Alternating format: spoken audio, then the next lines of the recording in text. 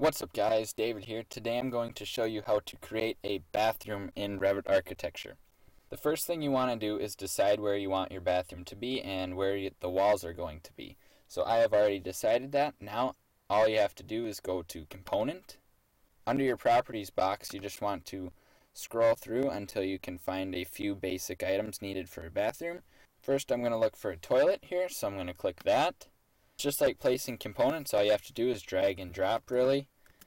And I'm just going to put a toilet right here.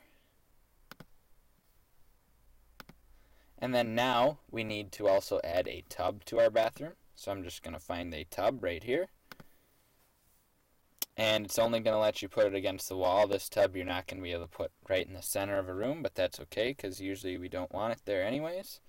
So I'm just going to put my tub right here. And then now I also have to add a sink. So what you want to do is go to component and then find a base cabinet, but you do not want a regular base cabinet up here. These are for kitchens. You want a vanity base cabinet. Now that's really important to do. Just make sure you select the right one. So I'm just going to select a 30 inch cabinet here. I'm going to put it over here.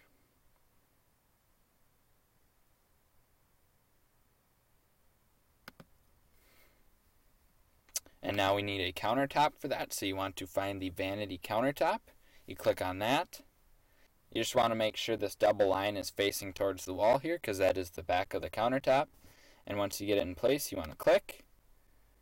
And then all you have to do is drag these arrows here. So I'm going to drag my sink hole to the center of my cabinet.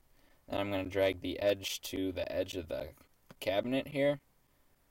And now I'm just going to move it out just a little bit so you can see the double line. And now I just need to add the sink portion of that. So you go back to component and then you, you find the vanity sink, you click, and you just put that right in the center of this hole. And that is how you create a bathroom in Revit. If this video helped you out, please give me a thumbs up. Thank you guys for watching. I'll see you in the next video.